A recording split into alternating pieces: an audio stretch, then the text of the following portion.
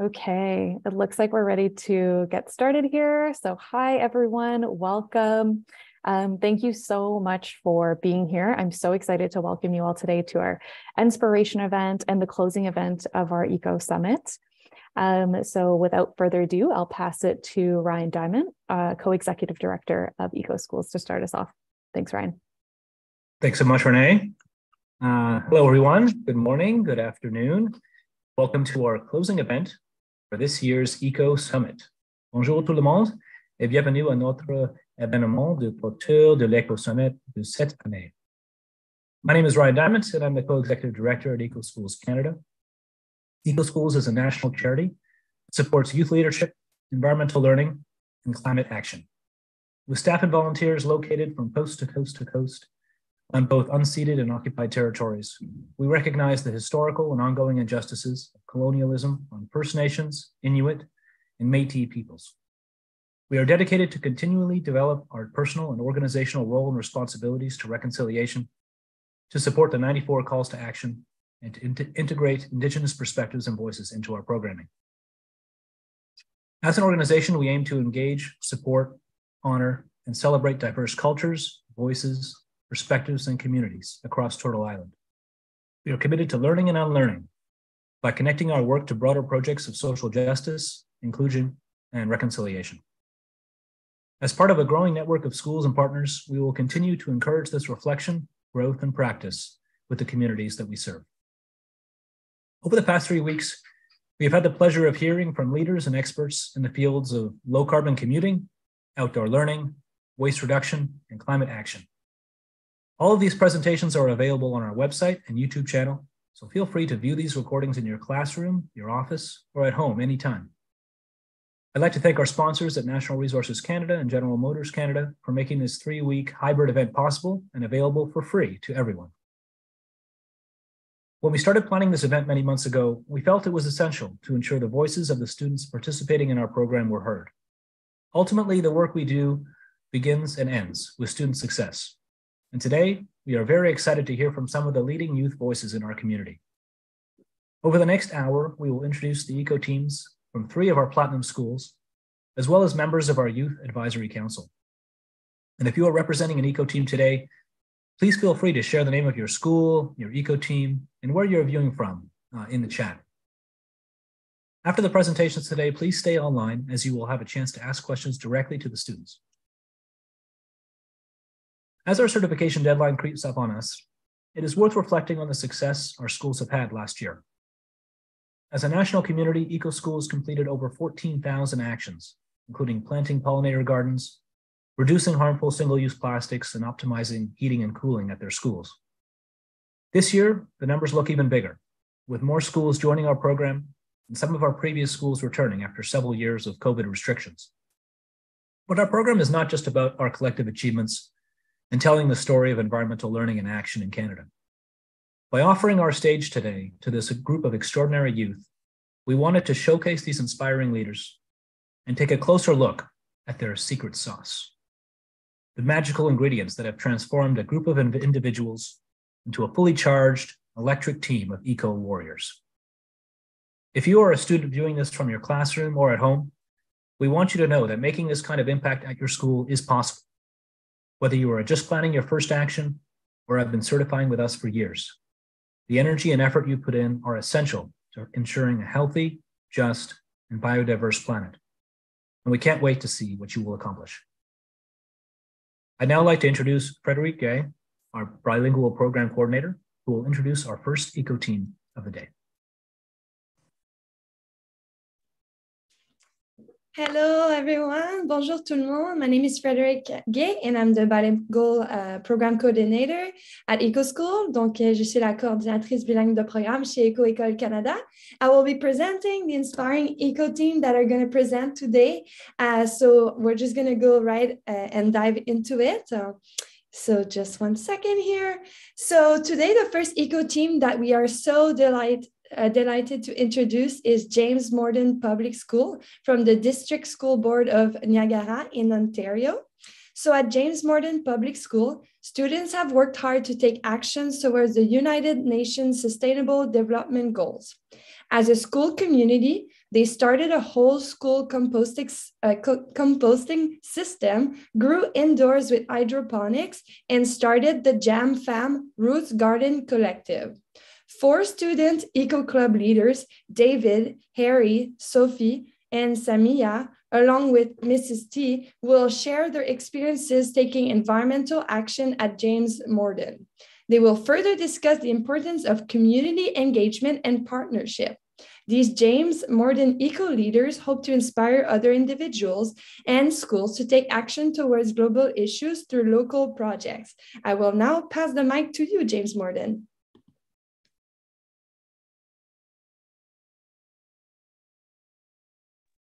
Hello, I'm just going to share my screen here. Okay.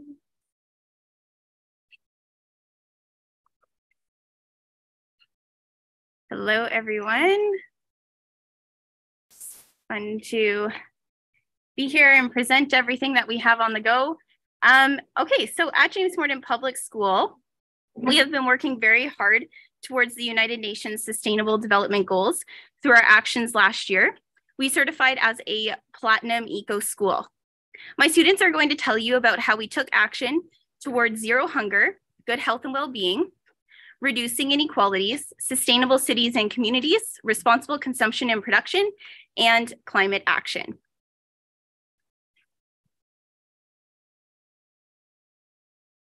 Uh, for me, a big issue uh, I see in our community is food insecurity.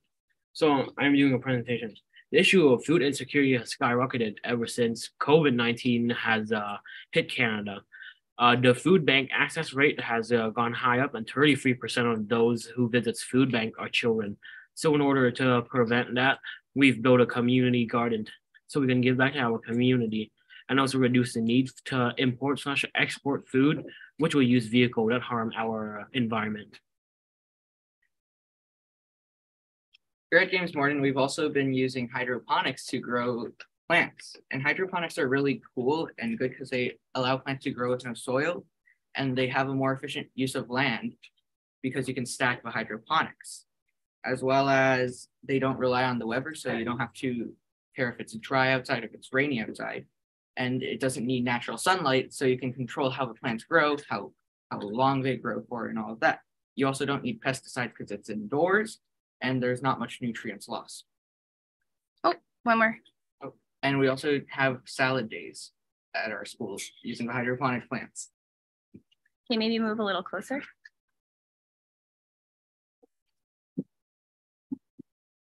In our school, we compost and work towards responsible consumption and production of food and climate action. We learned that organic food in landfills produce methane gas, uh, gas which is a powerful greenhouse gas that contributes to climate change. Grade 5 to 8 students at our school runs the compost group. We have three main compost systems. Most of our compost goes to the backyard composter where it breaks down and can be used for our garden. Some of our compost goes to the Niagara Region Curbside Program.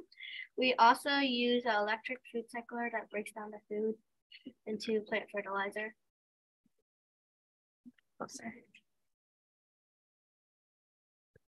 Thank you to Whole Kids Foundation and TD Friends of the Environment Grant, our school was able to build a large outside garden called the Jam Roots Garden. In our school, we planted many apple fruits and vegetables. We planted tomatoes, white flame corn, lettuce, bean, beans, squash, potatoes, carrots, and kale.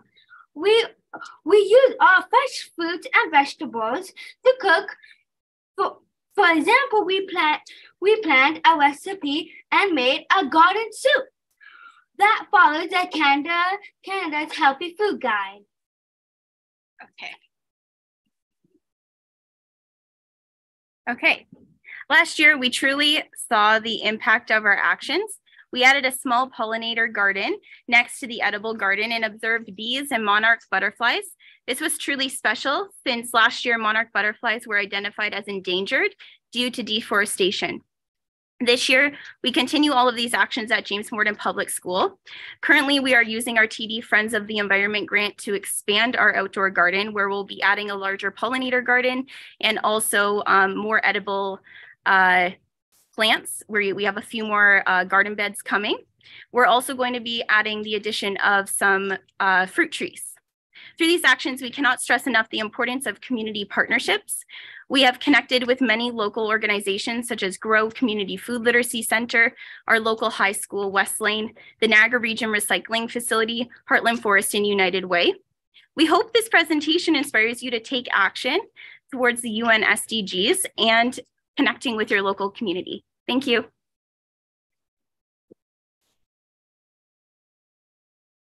Thank you so much, uh, James Morden Public School. I definitely feel extremely inspired by all your community engagement, and this soup looks so amazing. It makes me a little hungry. Uh, thank you again for your so participation. Oh, yeah, thank you. Um, so, joining us as well from Ontario, we have a second school, a second eco team presenting today. So, joining us from Ontario, the Richmond Green Secondary School's eco team is made up of a wide variety of students in grades 9 to 12. It was founded by Miss Cindy SM1 in 2007. She has been a teacher in York Region District School Board for over 15 years and is the staff advisor of the ECO team. The ECO team has won numerous awards, including the Platinum Level Eco School Canada status. Valentina is the current ECO team president. Olivia and Shane are the co-vice presidents, and Melissa is the secretary. So they hope you enjoy hearing about the waste reduction projects. I will pass it to you, Richmond Green Secondary School.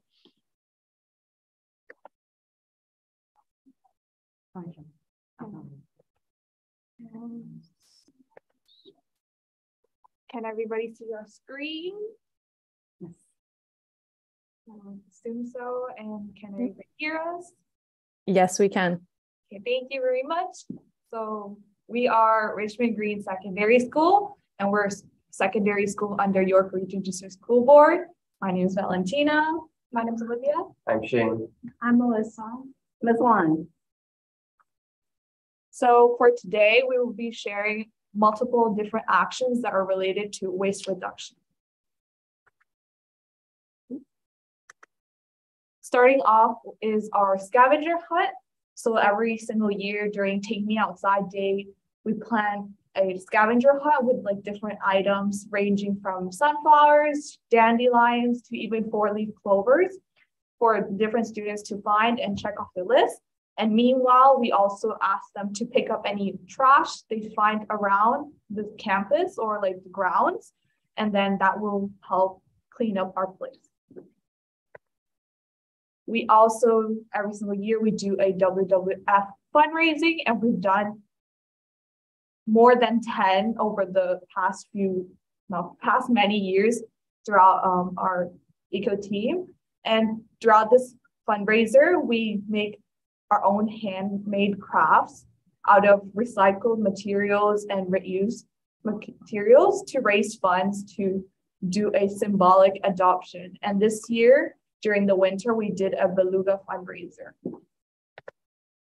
And we also have a waste-free lunch campaign.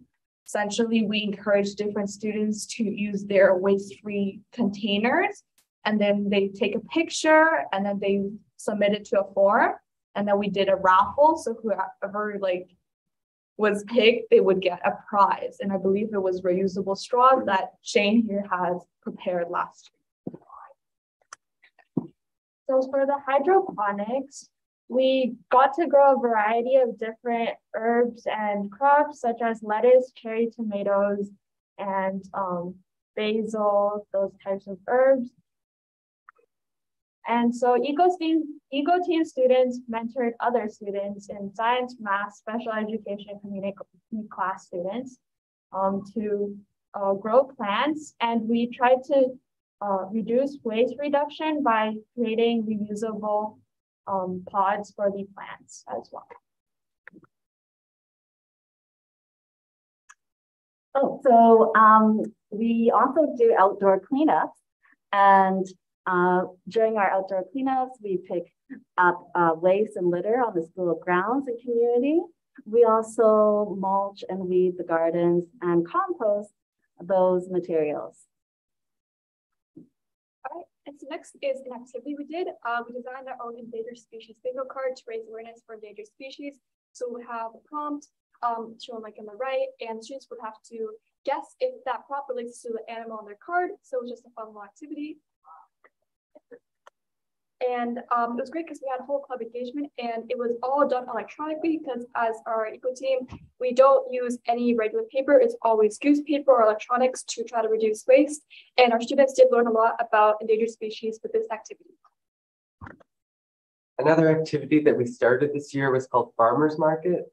So essentially students were able to bring in any leftover fruits or veggies or seeds that they had grown at home. And it's a great way to reduce waste to make sure uh, everything is going to use. So students are able to bring these in, trade with each other, learn about new plants and uh, different gardening techniques. And we hope to do this again another time to increase participation. So our ECO team has uh, been involved with other community organizations. We've collaborated with the city of Richmond Hill uh, to raise awareness about waste uh, and diversion and proper disposal. We put up posters and uh, our students also collaborated with the Richmond Hill, Richmond Green Branch Public Library. They collected articles and they made up the trunk of a pledge tree using those articles. Then in-person pledges were taken. And we've transformed this recently into a digital tree where uh, students uh, found electronic articles and used social media such as Instagram to collect pledges. So um, you can think about what is your pledge to the environment, and you can use Jamboard, for example, to collect the pledges. In the past, we have also made eco-friendly bags using upcycled t-shirts. Uh, we've had clothing drives, and also we've made paper uh, using shredded paper in the school. Students have made coffee sleeve notebooks using good on one side paper. Um, they've made gift bags and we've also made goose boxes, good on one side paper boxes that were placed in all rooms in the, inside the school. We've used the goose paper to do origami, and we've sold the origami products for fundraising. We've also sold our goose notebooks uh, for fundraising as well.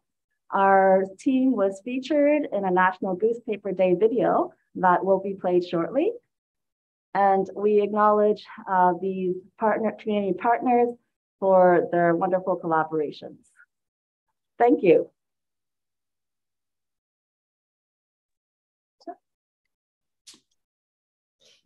Thank you so much, uh, Richmond uh, School. I think we'll be sharing the link to the Goose video in the chat. So Renee, if you can support with that, that'd be awesome. Uh, thank you so much for sharing your inspiring uh, initiative, especially I really enjoyed the Eco Tree Pledge and the origami with the goose paper. It's really inspiring. Thank you so much for this.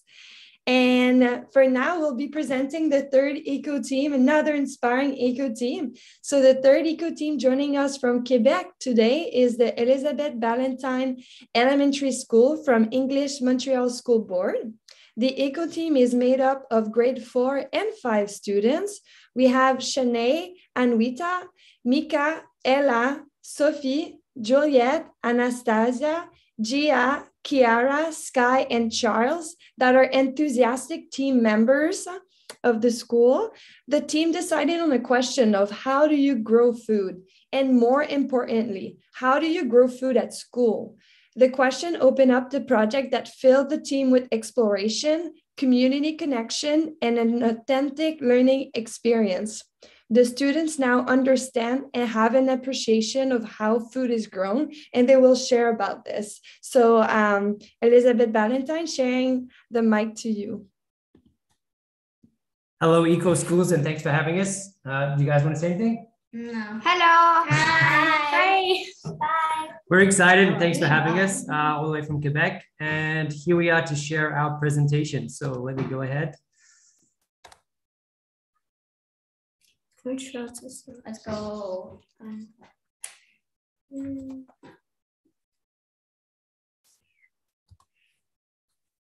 Okay, so our project began with how to grow food. We were really interested to see what efforts and resources we needed to grow food, and more importantly, in a school, because we are currently located in an urban area. Um, so we needed to decide how we could grow food and then being restricted to what our school looks like. So this is what we did. Uh, please enjoy our presentation. It's all pre-recorded. So uh, thank you.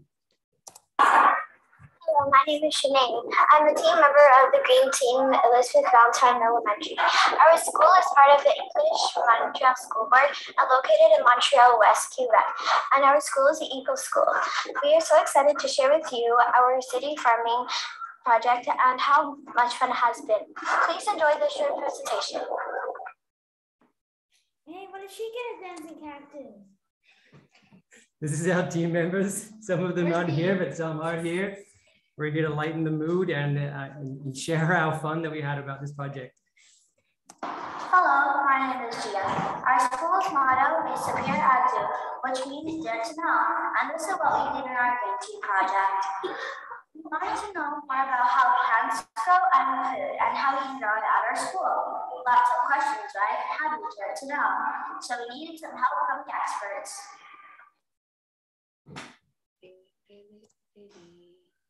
So this is Jane Barr. She's a community member in our uh, neighborhood of Montreal West, Quebec. Um, and Jane is an expert gardener. She's grown lots of things. And she was a valuable resource for us and our project. So the students have uh, formed a, a, bond, a relationship with Jane. We visited her garden in the fall. Um, and here's more. Hi, person, so we found an expert. Jane's a master gardener and also an organic food and herbal garden. I think it tastes delicious. I love the, the dinosaur peel and colorful beans. She also made an apple cake and apple cake from our garden. However, we don't have a garden like Jane in our school, so how will we grow plants and food in our project? For our project. Project. So this is our, our visit, and Mika described the fun experience of tasting kale, eating Jane's uh, apples from her garden in the cake. Um, so this was a great experience, and this opened our eyes to the possibilities of growing food and then applying that to our school setting. As you can tell, our students are very excited and happy to share you our project. So when we discovered Jane's garden, what we had at our school was a problem because students are away during summer we are situated under a lot of shade from trees. Our schoolyard is covered in a log blanket of snow still today, right, guys? Yes. Yes, and that's a lot of period being in Quebec. And also, we don't have any water access, so we need to find water to get to the plants. And then a big, big part is asphalt. Our schoolyard is covered in a lot of asphalt or pavement, we like to say. So this is a restriction um, to growing food at our school. So we had to look at some uh, options and this is what we came up with. Hello, my name is Sky. This is our school's Nutri Tower. It's a vertical hydroponic growing system. We can grow 32 plants all year round, even in the winter. And we don't need a lot of space either. The bright lights in the center provide optimal light exposure for the plants to grow. Water cycles through the system by a pump in the bucket.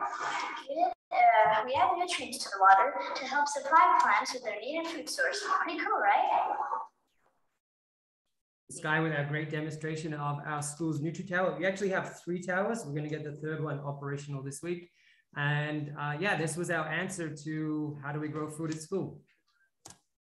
So Nutri Towers provide us all the benefits of growing food in a school system because we don't have to worry about shade, snow, pavement or asphalt, access to water, or the summer holidays because no one can get to them.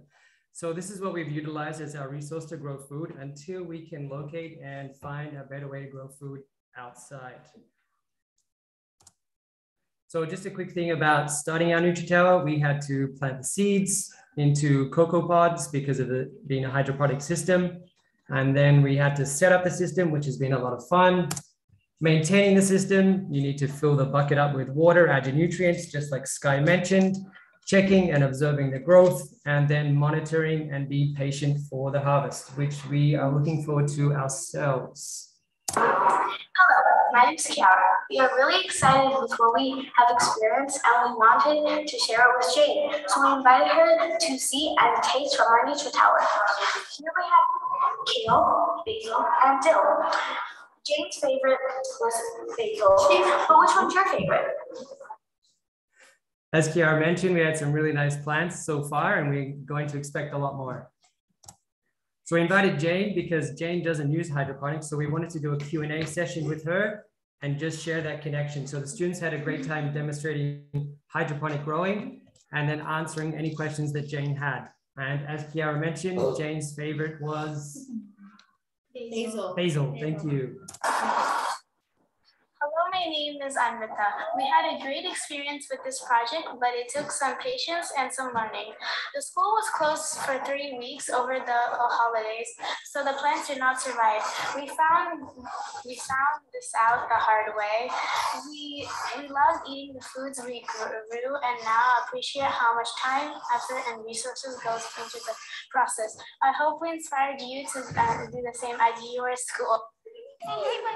Thank you, Anvita. Yes, we had some hard times uh, losing our plants during summer uh, during the, the holidays.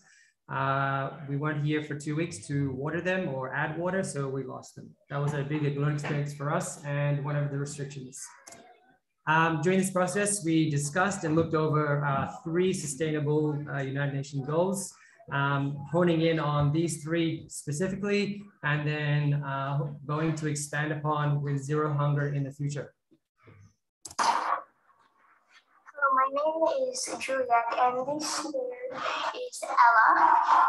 Thank you for watching our presentation. We had so much fun sharing our learning experience, experience with you.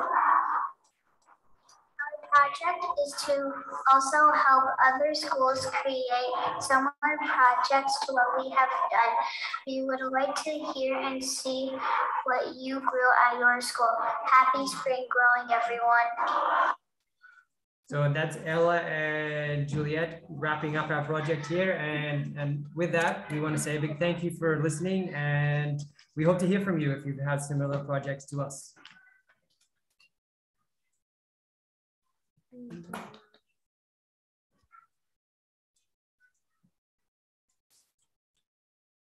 Okay, thank you so much, everyone. I'm Claire from the EcoSchools Canada team, and on behalf of EcoSchools, and I think I can say everyone here today, thank you so much to all of the eco teams for sharing your amazing work with us. We truly appreciate it, and we hope the audience is inspired to take action in your own schools and communities. So we will now be taking questions for any of the eco teams who just pre presented. Um, if you have any questions, please add them to the Q&A box now. Um, I've been taking some that have been coming in directly in the chat, um, and we'll answer as many as we can in the next 10 minutes. Um, also, before we get into the questions, just a reminder to everyone to please stick around uh, after our question period because we have a short closing presentation from two of our EcoSchools Youth Advisory Committee members that you don't want to miss. Uh, so with that, uh, we'll get into our questions. And once again, uh, encouraging everyone to add any you have uh, to the Q&A box. Um, if you have any trouble finding that, you can add them directly to the webinar chat. So our first question um, is for James Morden Public School. Um, and we were asking if you have any tips for schools for finding strong community partners and how to approach them, since this is something that you pointed out as an important uh, step in, in your eco schools and environmental projects.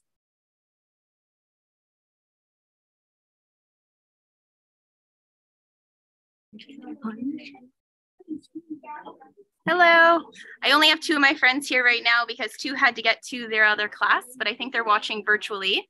Um, so one of the biggest tips that I think we have is just if you see a community partner that maybe aligns with something that you're doing, um, don't be afraid to send them an email. I know it can seem kind of risky, but uh, it's definitely worth it. I feel like most people I've reached out to have always been more than willing to somehow connect with us in some capacity. so I know I found I found some of our community partners just through student projects. Um, we've emailed a couple community partners recently for their they're working on their young reporters of the environment contest. So sometimes it comes from student generated projects, um, but definitely reaching out also to different organizations if they have grants available. Uh, that's really helped us quite a bit um, to say to a community partner, we have this funding. Is there a way that you can then help us? Um, so kind of having that extra amount of money definitely supports that partnership. So Great. Thank you so much. That's wonderful advice. Um, so we do have another question for James Morden in the chat, but I, I'll just go and ask one to another one of the ECO teams, um, just so everyone gets a chance to uh, answer a question. So uh, this is for uh, Richmond Green Secondary School. And the question is, any tips to for getting your whole school involved in your actions? It sounds like you had really great variety of actions and lots of experience in your team. So mostly you can like collaborate with other clubs. First of all, so like if there's something that your team has lacking, sometimes they have a wider audience as well. But mainly we do a lot of announcements and lots of like posters and Instagram Instagram like social media posts, like letting them know. And I didn't to add on. Like mainly posters, like on the like two or three weeks in advance and like saying, okay, we're going to have this event here. And then we just welcome everybody to come and participate. So if you're interested, go ahead. And we also um, publish in school newsletters about up upcoming events. So if anyone's interested, they can mark it down on their calendars. Yep, and we choose specific days like National Sweater Day or Earth Hour, Earth Day, um, like the nationally recognized um, like environmental uh, holidays, just so it's um, the whole school like knows about it and they get involved. It's easier for them to get involved when it's a holiday. Yeah. Fantastic. Um, those are great suggestions for any school looking to involve a, a wider community or wider school community, especially. Um, we know that public putting posters in public places and, and getting the word out is uh, always successful. And the suggestion to involve other clubs uh, is a great one. So um, we'll move on and uh, we have a question here as well for uh, Elizabeth Ballantyne School. Uh, the question is, what is one thing you learned through your projects that you think um, other students would like to learn as well? Anyone want to answer that question? Uh, Sky? Well, I don't really know. What did you learn from plants and using the pods. Well, Oh, we had a Tiberian. Yeah. Uh, um, okay. Well, we already knew. We had to use rocks. But wait. I learned. Show me. I rock. I learned that that I thought you could only like have plans like from outdoors, but turns out you could do from like a Nutri-Tower too. Yeah. Amazing. Yeah, that's a great learning. The uh, indoor uh, growing plants indoors is a really exciting thing to learn about, and especially in a system like uh, a Nutri-Tower. So thank you, um, the eco team of Elizabeth Ballantyne for that uh, insight. Okay, so let me just check the chat here um, for some more questions. Uh, we have a question um, for uh, from Eugene for James Morden asking, how do you source the materials for the Nutri-Tower?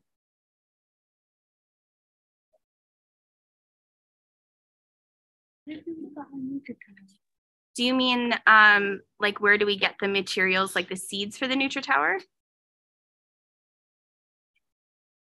I'm not can sure you- if Eugene, you can clarify that in in the chat. It sounds like um, maybe they're looking to know the seeds. If you could speak to the seeds to start with, sure. we yes. okay.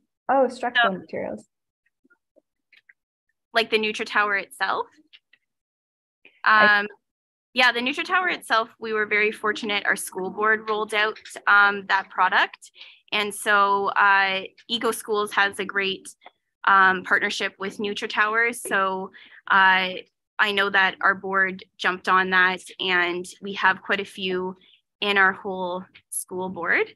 Um, oh, there's the link there. So uh, yeah, they've been great to work with so far. Um, and yeah, like this, it came with a lot of the seeds that we started with, but from there, we've ordered different seeds from West Coast Seeds.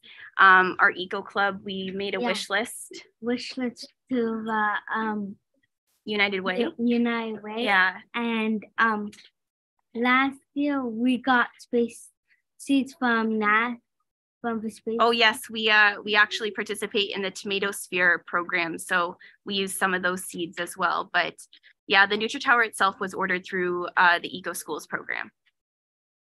Fantastic. And thanks uh, to Emily from our team for sharing that link in the chat. So if anyone wants to check that out, please feel free.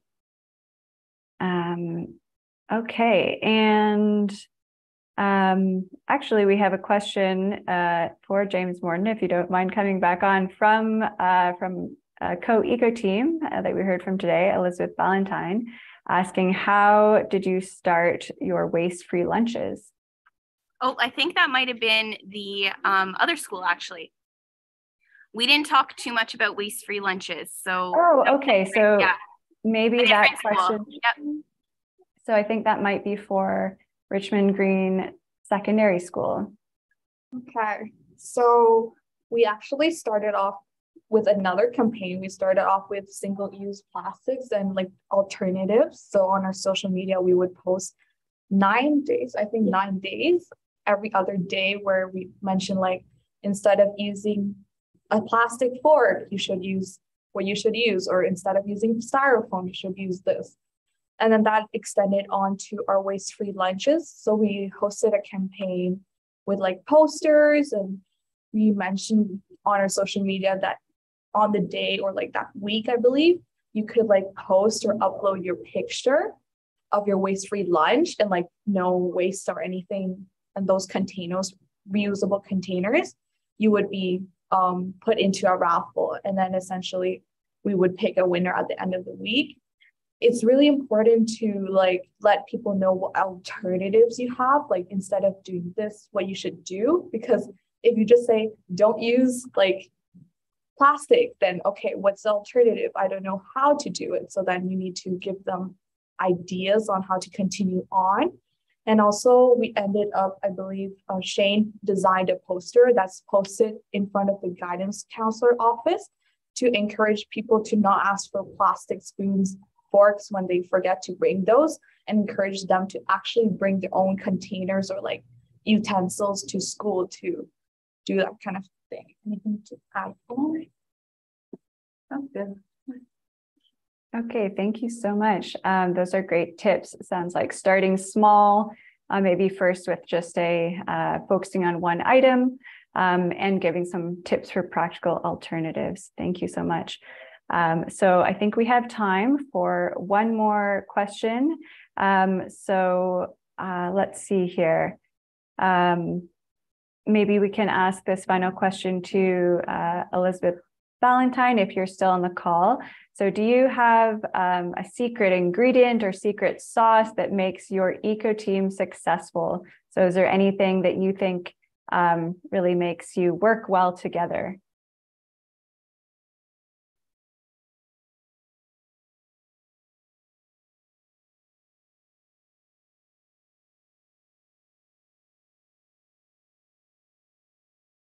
If the Elizabeth Ballantyne group is occupied at the moment, um, maybe we can pass that last question on to James Morden. Do you have any um, final thoughts there?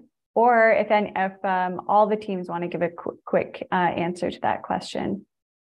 Okay. Sure. Okay. Go ahead.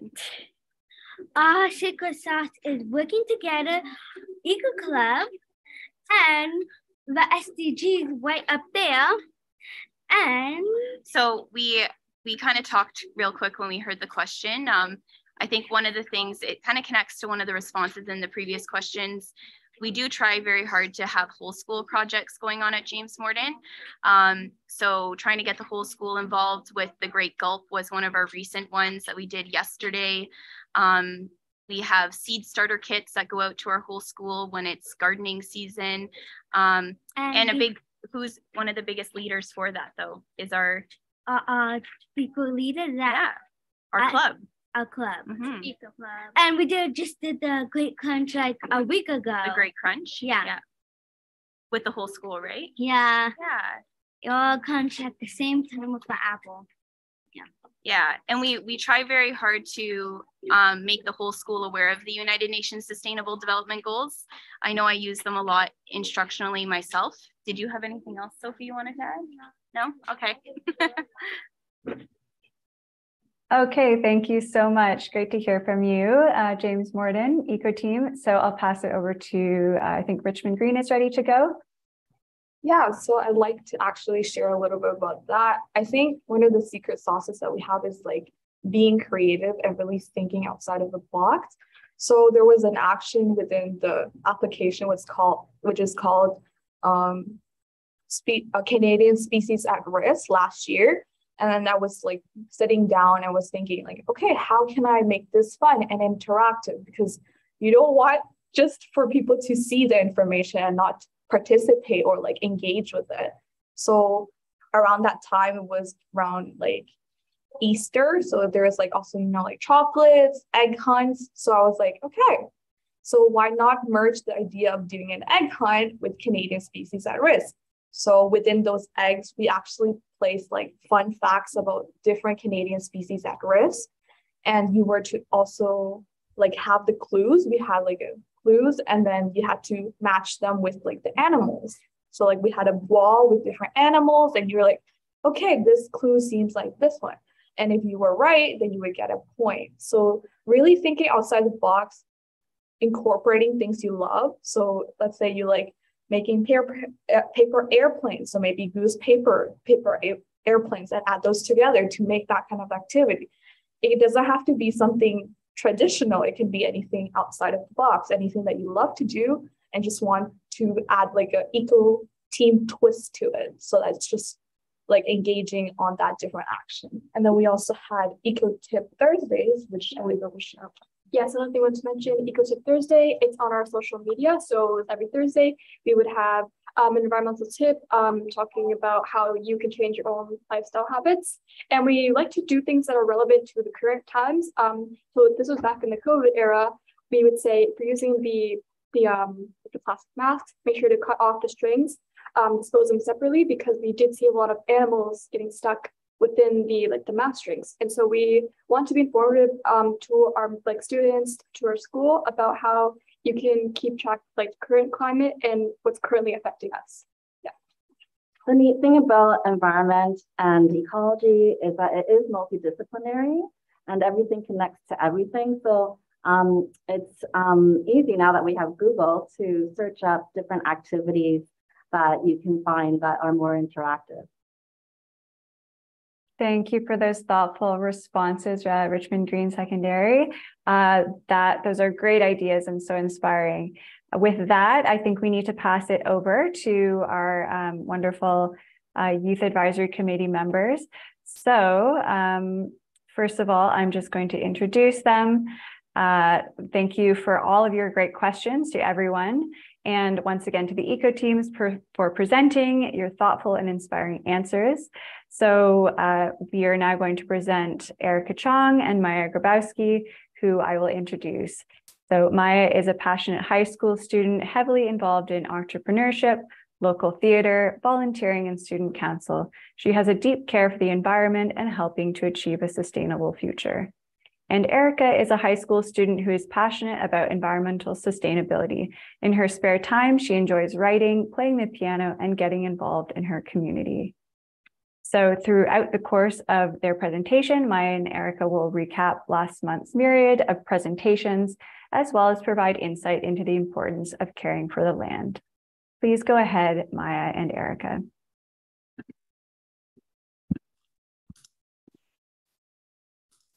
As we reach the end of the 2023 Eco Summit, we would like to reflect on everything that we learned. But first, let us introduce ourselves. We'll start off with my friend Maya. My name is Maya Grabowski, and I'm a member of the Eco Schools Youth Advisory committee. I'm a ninth grader in the International Baccalaureate IB program. I love reading, writing, acting, art, business, and volunteering time to my community. Now I'll pass the mic back to Erica. Thanks, Maya. My name is Erica Chong, and I'm also a member of the Eco Schools Youth Advisory Committee. I enjoy reading, writing, playing the piano, and contributing to my community. That's awesome. Can you tell us a bit about the YEC? Sure. The YEC is made up of passionate high school students who are working towards climate action and environmental justice. Through monthly meetings, Instagram takeovers, blog posts, and participating in events like this, we hope to inspire a new generation of climate activists. We will now recap the Eco Summit. It kicked off with a keynote address from Ms. Nikki Sanchez, where she spoke on the small scale, big impact ways to address environmentalism daily. I think I speak for everyone when I say the webinar was jaw dropping, and I felt a bit wiser as I closed my computer. We then tuned in for Eco School's daily educational webinars addressing this year's Eco Summit themes of outdoor learning, waste reduction, climate action, and low carbon commuting. On March 10th, we learned about advances in green transportation and low carbon commuting school initiatives from experts and changemakers at the Low Carbon Commuting Panel. It was so wonderful to hear about the progress being made towards sustainable transportation. And today, we heard some inspiring stories and innovative tips from eco schools nationwide. The EnSpiration event is meant to inspire young climate activists and even older generations to strive for environmental justice and environmental action. All the eco schools that presented have done an ex- exceptional job of addressing both these issues. I am shocked by all their wonderful accomplishments. To all the children who presented today, you should be so very proud of all that you've done for our Earth. Yes, great job, everyone, and thank you for making a difference. Moving on, Maya and I will share a few pieces that inspire us. There is an Aboriginal proverb that is common among the Nyamal peoples of the North Pilbara region in Western Australia and was first publicly released by the female elder by the name of Doris Eaton. The quote is Destroy the land, and the land will destroy you. As you all know, our world is often disrespected and used to fill the pockets of those in power. But as more people realize their faults and strive for change, our Earth is slowly healing. To honor our Earth's resilience and beauty, I have selected a few excerpts from a spoken word poem anonymously published on Digital Poet. The link has been attached in the chat section of the meeting for anyone who wishes to read the full poem. Let me tell you a story, a story about three little children their names were Present, Earth, and Future. Present was a kind and true hearted child, his mind filled with dreams and ambitions quite wild. Present saw time machines and flying cars, and he worked hard to achieve it all. But Present, he was ignorant. Present was drowned in, in, waves of applause and gratitude, worrying only about the piles of money leading to more fame, more cash, more gain. Eyes covered in sunglasses that, instead of blocking out UV light, allowed only sources of money to come into sight standing on a pedestal high above anybody else, his ego soaring and his selfishness even higher, unable to see the damage being done to the creatures down below or in the sea, mind clouded with big companies and even bigger machines, demolishing forests and polluting the marines. Will hurts. Will hurts, but present won't see, as present is far too deep in finding ways to make more money and advancing technology. Now don't tell me it was worth it. Earth. Earth was like a mother, she nurtured the children of others as though they were her own. Earth planted seeds in the ground and circled around to make sure they were safe. And the plants grew. They grew because Earth knew that if she protected life as it was, allowed blossoms to bud and bees to fly free, gave homes to creatures in the sea, from fish to whales, from sea urchins to snails, Earth gave them food. She gave them a place to grow and a place to go if they ever needed to move. All animals and plants could see that earth suffered if they did. Earth stood with every creature and every plant, no matter how tough the ride got. They could see that earth was their home, their friend, their mother, their queen. But present, present couldn't see. Present's eyes were only fixed on money, like racehorses with blinds covering the sides of their heads. And that was exactly what present was running straight ahead without awareness of the dead, the dead trees, the dead plants, the dead you, the dead me peripheral vision blocked by towering buildings with ads all over, animals without fur because jackets and rugs are more important, as if we live in the Arctic and depend on our fur to keep us alive. A fashion statement, making us look better, but taking away their lives. rhinos without horns, and baby animals torn apart from their mothers, for souvenirs and a reason for us to remember. All my sisters, all my brothers, are you proud? Are you proud we've turned every cloud dark gray and left mounds of trash in the lakes, the ones we used to call great, but now we call polluted? Because of our insufficiency to preserve the treasure of life we have on this planet, and I can't fathom how we stand it. Temperatures rising, sea levels climbing, sun shining, and UV rays determine the purpose of the ozone layer. Because what we once called a protective layer is now a result of we'll fix it later. And that's what we said for it all. And now we have a retracting Niagara Falls, the populations of animals falling even greater. Because we are hardwired from the moment we're born to constantly want more. We'll rise to the top, even if it means pushing others down a floor. We're busy toying with iPhones and PlayStations 4s when what we should be reprogramming is our core we call the heart. Because without heart, we cannot begin to embark on a journey we have years or even decades to reach, a point where man understands the pain plants and animals feel, a point where present embraces earth and begins to heal the wounds it gave of broken bones like cut down trees and scrapes like dried up lakes. It begins in the heart and should be a will, not a wood, a point where future can see what present never could. I hope that this poem resonated with you and inspired a little bit of hope. The last line was a point where future can see what present never could. Everyone who is watching this right now and making changes to their daily life to benefit our beautiful home, you are the future, seeing everything that present once ignored. In 10 years, I wouldn't be surprised to see some of the children who started off as eco team members under Forbes under Forbes 30 under 30 or the time 100 paving the way and inspiring others just as they did today. Every piece of plastic you pick up and every small action builds up. Speaking in today's event may seem like a small action, but it matters. Now we move to the second part of the presentation. I will pass the imaginary mic back to my colleague Erica. Destroy the land and it'll destroy you, as Maya recited earlier, is only half of the quote.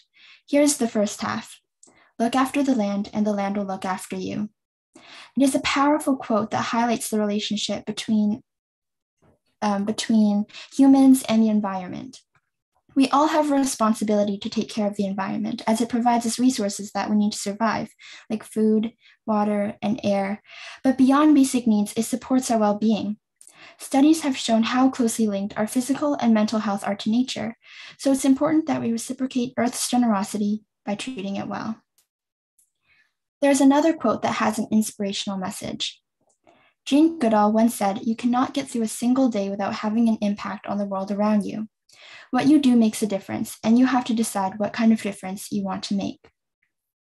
This is a great reminder that we all have the power to create positive change. Everything we do affects the world one way or another, for better or for worse. We get to decide how we want to live our lives and the size of the carbon footprint we leave behind. In our everyday lives, we make decisions like whether to walk or drive to our destination, use plastic bags provided at the counter, or bring a reusable bag to the grocery store. Although these decisions seem insignificant, they do actually make a difference in the outcome because it all adds up. You're either contributing to the problem or you're solving it. It's about making the right decisions. We need to start being more conscious about our actions and commit to living sustainably Activism is crucial now more than ever in the fight against climate change. And by being here today, you are doing just that.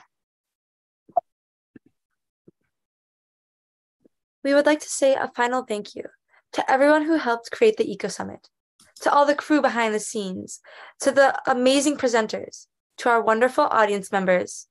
The world is such an unpredictable place, but it is comforting to know that there are this many people in the world who are trying to catch the falling pieces it really makes you wonder if rather than falling apart, everything might just be falling into place.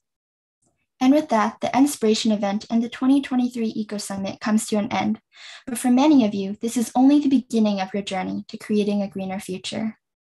Thank you.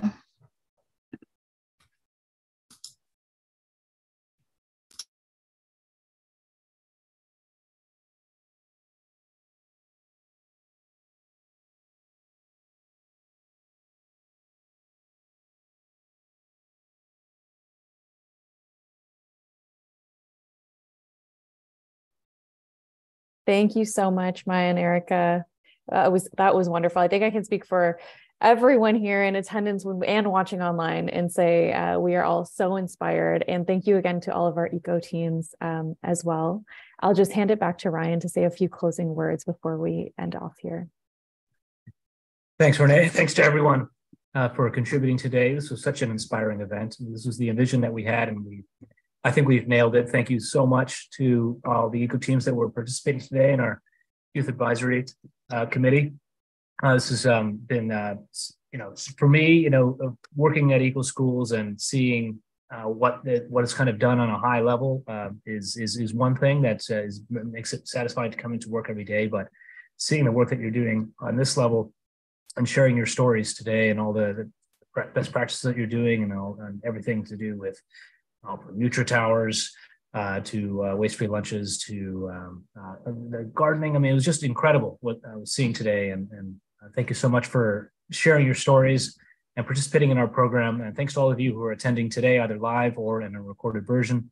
Uh, we look forward to seeing you again at a future event. And uh, don't forget that our eco um, uh, to, to, certify as an eco school, the deadline's coming up in a few months. So uh, please uh, welcome to our platform, participate, um, share what you've done this year. Please share your success with your eco team, with your school community.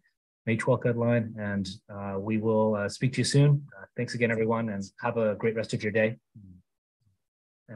and weekend. Thanks again.